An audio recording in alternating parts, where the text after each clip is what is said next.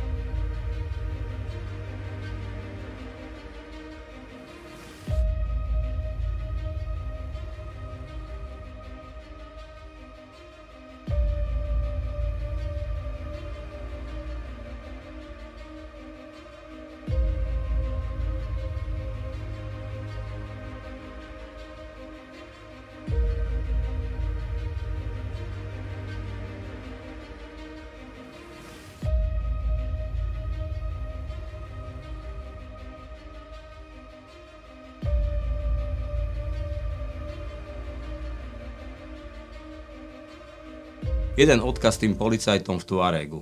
Ja viem, že máte povinnosť rešpektovať Borisové pokyny a máte povinnosť zachovávať mlčanlivosť o všetkom, čo počujete a vidíte.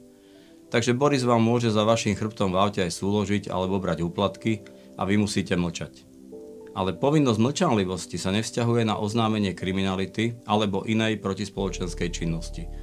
Máte určite rodiny a hypotéky a určite vám nestojí za to zakrývať to, čo robí Boris a riskovať, že prídete o prácu a vyhliadku výsluhového dôchodku. Som presvedčený, že ste určite o situácii, ktorú som opísal, urobili úradný záznam a odovzdali ste to vášmu nadriadenému. V prípade, ktorý som opísal, ide pravdepodobne o trestný čin zneužívania právomoci verejného činiteľa a prečin ohrozovania mravnej výchovy mládeže, keby ste ten úradný záznam potrebovali doplniť. Boris Boris, ty si zaujímavý prípad. Kedy si sme sa v škole učili, že v živočíšnej ríši sa vyskytuje taký zaujímavý úkaz. Pohlavný put je silnejší ako put seba záchovy. Stačí si spomenúť na párenie pavúkov alebo modliviek. Sámček po súloži príde o život.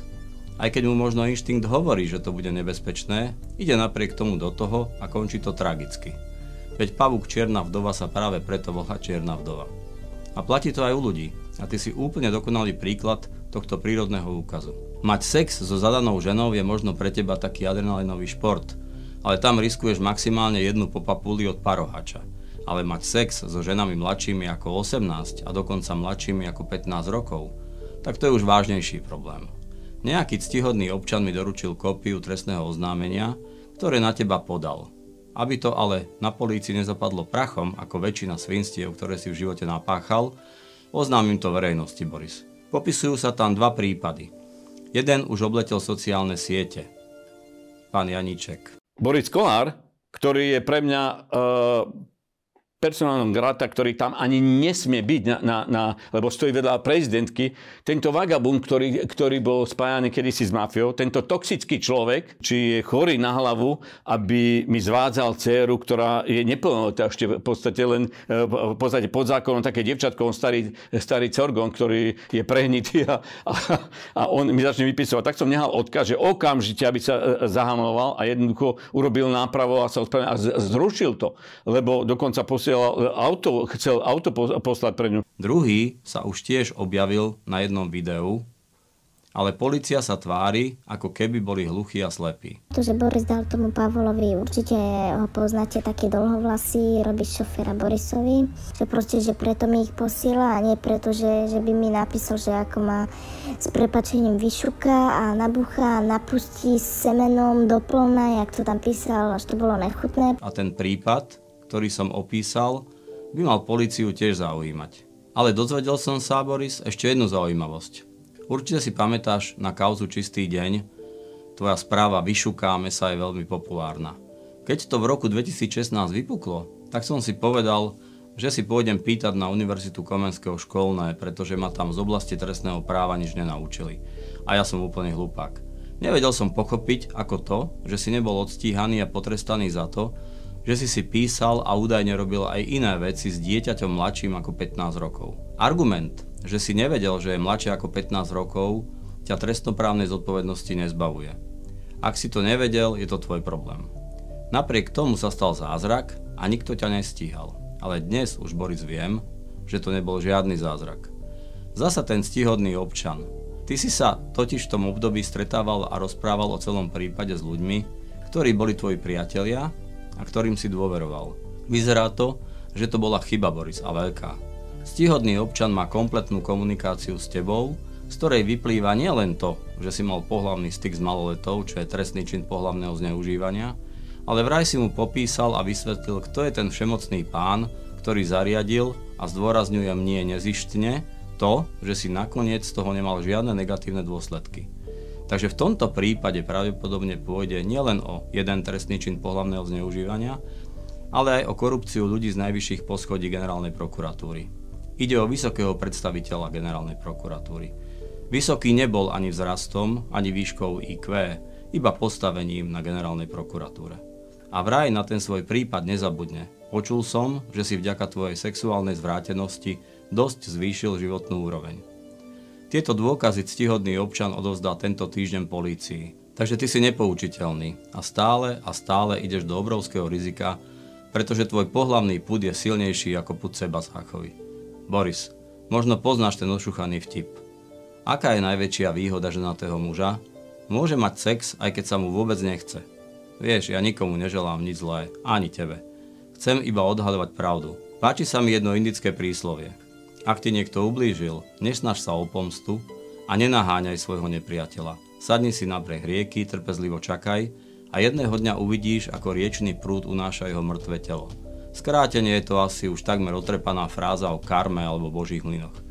Ale aj keď ti to neželám, môže sa ti stať, že sa dostaneš do situácie, ako ten ženatý muž v tom tipe. Dostaneš sa do budovy, prostredia a situácie, že budeš mať sex, aj keď vôbec nebudeš chcieť. Mnoho ľudí sa pýta, ako dlho budem vyrábať takéto videá. Generál Sunce sa k tejto situácii vyjadril. Nebudem čítať celý jeho výrok, poviem iba význam. Nepriateľa treba zničiť úplne a dokonale, ak to neurobíš, zasa povstane proti tebe. Takže to bude ešte dlhý príbeh, Boris. Ale nemusí to skončiť Borisom. Ja žijem v tomto konzumnom kapitalizme na Slovensku celý život. Ak začnem vo videách hovoriť iba o mojich zážitkoch a spomienkach, tak mám materiálu na 10 rokov. Už si to chystám. Zdá sa mi, že je to lepšie ako písať memoáre. A čo sa týka Borisa, tak pravdepodobne opíšem jeho vzťahy k niektorým sudcom Najvyššieho súdu. Rád by som opísal asi najlepší Borisov obchod v živote. Podarilo sa mu vymeniť 10 miliónov eur za 300 miliónov eur. Ak sa vám to zdá ako nezmysel, iba naznačím, že niekto zarobil 300 miliónov a Boris zarobil 10. Ale samozrejme tých 300 miliónov vyšlo niekomu zo štátnych peňazí. Z tohto pohľadu to už zmysel asi dáva. A ešte sa budem venovať neviditeľnému ministrovi. Teda, aby som bol presný, podpredsedovi vlády. Volá sa Holý a nie je to ten slovenský básnik a národovec, o ktorom sa učí v škole.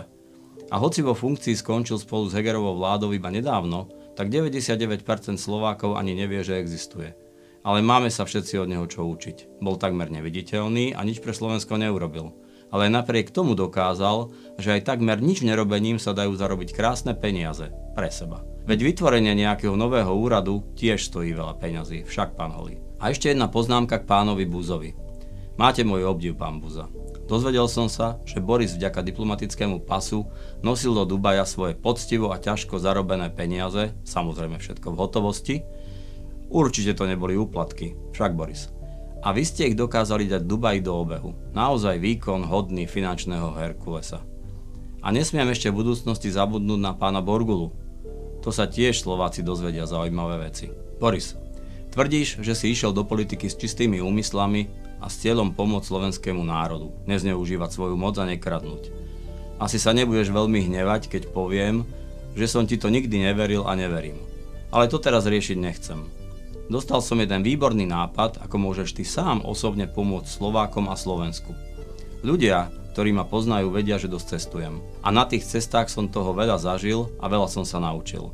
Turistov vždy láka a zaujíma niečo unikátne, niečo kuriózne, čo nevidia nikde inde na svete. Slovensko má niekoľko zaujímavých turistických atrakcií. Napríklad je u nás jedna z mála aragonitových jaský na svete, myslím, že sú iba 4. Ale ty, Boris, si oveľa väčšia atrakcia. Iba o tom svet nevie. Moje osobné skúsenosti sú, že podobné prípady ako ty, to znamená vzorný kresťan, ktorý si podáva ruku s pápežom, žijúci poligámnym spôsobom života, má veľa partneriek a veľa detí a dokonca má alebo mal významnú štátnu funkciu, je ešte menej ako aragonitových jaskyň. Topka bol jeden pán v štáte Mizoram v Indii. Jeho meno je Zion Khan. Mal 39 manželiek, 94 detí a 36 vnúčat. Bol som u neho osobne a všetci obyvateľia toho malého mestečka ho milovali, pretože prilákal každý rok také množstvo turistov, že to pomohlo miestnej ekonomike. On však nedávno zomrel. Druhý je král Svazíska, Msvaty III. Tiež vzorný kresťan ako ty a navyše kráľ má 15 manželiek a 36 detí. Najväčšou turistickou atrakciou celého kráľovstva je slávnosť, tzv. trstinový tanec, pri ktorej si kráľ každý rok vyberie zo všetkých panien kráľovstva ďalšiu manželku.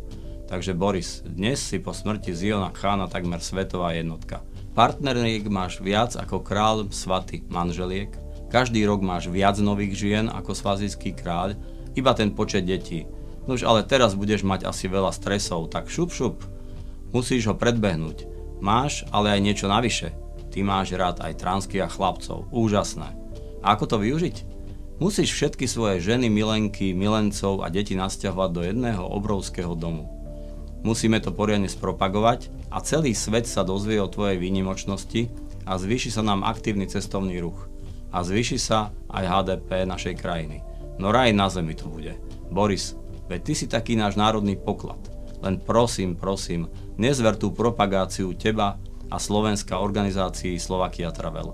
Ľudia z tejto štátnej organizácie za tých pár rokov, čo mali na starosti rozvoj cestovného ruchu na Slovensku, dosiahli svetový unikát. Minúť desiatky miliónov eur bez akejkoľvek stopy a výsledkových činností, tak to tiež nedokáže hocikto. Toto je výborná téma na ďalšie video. A vôbec, celé ministerstvo dopravy je studnica poznatkov a múdrostí. Nuž Boris, nudiť sa nebudeme.